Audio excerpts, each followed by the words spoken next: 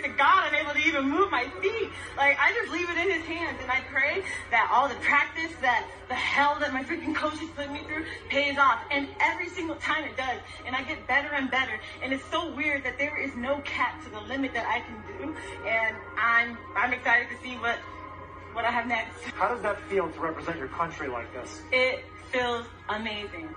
I love representing the U.S. I freaking love living there. I love it, and I'm so happy I get to represent to